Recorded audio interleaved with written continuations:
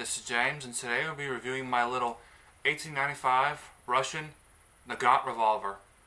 Uh, this is a seven-shot double-action revolver that was first introduced in Imperial Russian service back in 1895, and it was produced and issued up through World War II. This particular one is made in 1944, and it's chambered for the 7.62 by 38 rim cartridge. It's a unique gas-filled cartridge with a 110 grain bullet that is seated inside the case like a full wad cutter.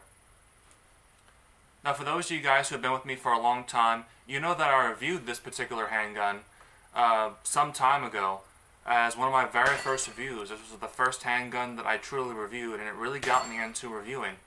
Uh, it's an interesting little handgun. At the time I could pick them up for $99, but that's changed. This one I've got about two years ago and I paid about 260 bucks for it, which isn't too bad even for those times. Uh, the prices have definitely gone up, as has the ammunition, but it's an interesting little gun, and it's fun to shoot. This is the 1895 Nagant revolver. It is one of the last service handguns developed by Leon Nagant of Belgium, and this particular one, of course, this design was adopted by the Russian Empire in 1895. At the cusp of swing out cylinder revolvers. This is a very conservative design. If we take a closer look at it, we can see the typical bag style of grip. This one has plastic grips, being it was made in 1944 and not in the earlier days. Uh, it has a lanyard loop, but overall the bluing and the design is relatively conservative. We have a double action, single action handgun, which means the hammer can either be fired by pulling all the way through. Have a heavy trigger pull, about 20 pounds, you notice the cylinder. The cylinder moves forward to seal against the forcing cone. Uh, that is for the gas seal 7.62 by 38 millimeter cartridge to actually work to eliminate the cylinder gap between the barrel and the forcing cone so you get higher velocity. Uh, for some reason, the imperial government really liked this and they went with it. But also, uh, bear in mind you can cock the hammer for a lighter single action pull, which isn't too bad. The sights are relatively decent. The front sight's pretty prominent, but the rear sight you just have a, a groove. But otherwise, this is a 7-shot handgun. And it's, like I said, it's chambered for the 7.62 by 38 rim cartridge. Uh, relatively high velocity cartridge for its time. You have your loading gate.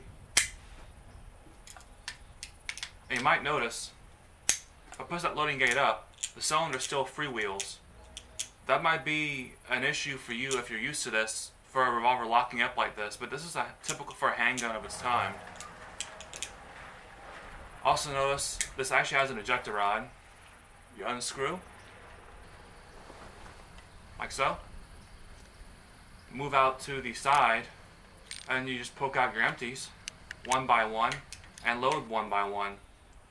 Like I said, it is slow by today's standards, but you have to bear in mind at the time, swing out cylinders were new technology and not proven the Russians went with something that was proven, and they went with a cartridge that was relatively potent, especially given what other Europeans were carrying, like 32 ACP, the 8mm French ordnance, and the 8mm Austrian Gasser round.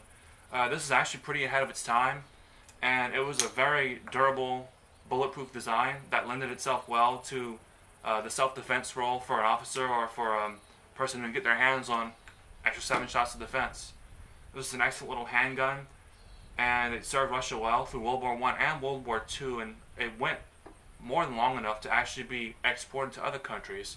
What I can say is that my surplus ammo was 1978 vintage, and so there was still enough of these things floating around to actually warrant ammunition being made.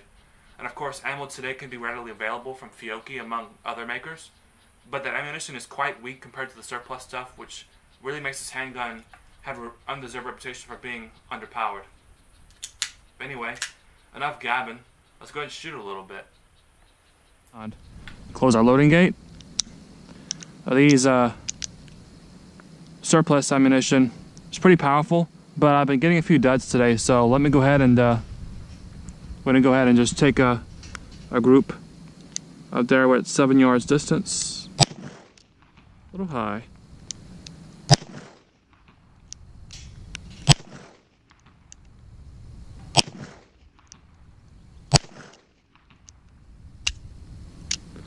Whew.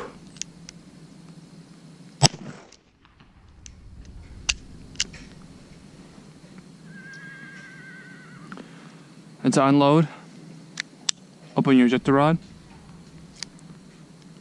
There's your ejector rod right there. It just folds underneath the barrel. Then you just eject your empty cases.